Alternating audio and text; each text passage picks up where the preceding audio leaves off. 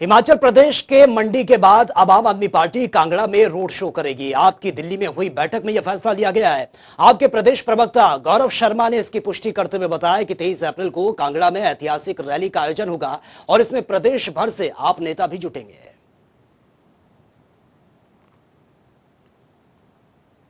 तेईस तारीख को कांगड़ा के अंदर केजरीवाल जी नेशनल जो कन्वीनर आम आदमी पार्टी के आने वाले हैं। जिस तरीके से मंडी के अंदर छः तारीख को उन्होंने रोड शो किया और अपार जो उन्होंने उन्होंने हिमाचल प्रदेश की जनता का स्नेह और मंडी के लोगों का उत्साह जो उन्होंने देखा तो केजरीवाल जी को लगा कि हिमाचल प्रदेश की जनता मुझे इतना सुनने, इतना प्यार मुझे वो बरसा रही है। उसी कड़ी में अब कांगड़ा जो बहुत बड़ा जिला हमारे प्रदेश का है, जहाँ लगभग पंद्रह विधानसभा की सीटें हैं, कांगड़ा के लोगों ने उनसे आग्रह किया कि आप हमारे बीच भी आइए। उसी कड़ी में जो तेईस तारीख को अब जो है कांगड़ा के अंदर अरविंद केजरीवाल जी का एक बहुत बड़ा रोड शो होने वाला।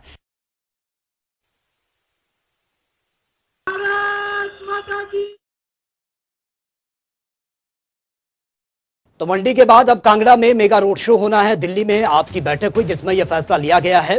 तो रोड शो में प्रदेश भर से आपके नेता भी जुटेंगे। तो फ़िलहाल शिमला और हमीरपुर में भी रोड शो की संभावना है और कांगड़ा में रोड शो की तैयारियाँ जल्द शुरू होगी।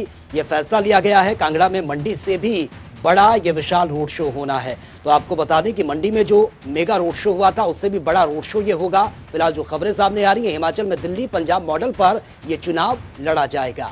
तो मंडी के बाद अब कांगड़ा में ये रोड शो होना है। बाकायदा इसको लेकर तैयारियाँ पूरी हो चुकी हैं। दिल्ली में आपकी बैठक हुई, जिसके बाद ये निर्णय लिया गया है और इस रोड शो को मेगा रोड शो बनाया जाएगा। यानी कि जो रोड शो आम आदमी पार्टी का मंडी में हुआ था, जिसमें भारी तादाद में आम आदमी पार्टी के कार्यकर्ता जुटे थे। अब कहा जा रहा है कि कांगड़ा में जो रोड शो होगा, वो मंडी से भी विशाल रोड शो होना है, जिसको लेकर तैयारियाँ लगभग पूरी हो चुकी हैं। तो चुनाव प्रभारी सत्येंद्र जैन का ये बड़ा बयान इसको लेकर आया है। हिमाचल में दिल्ली पंजाब मॉडल पर यह चुनाव लड़ा जाएगा।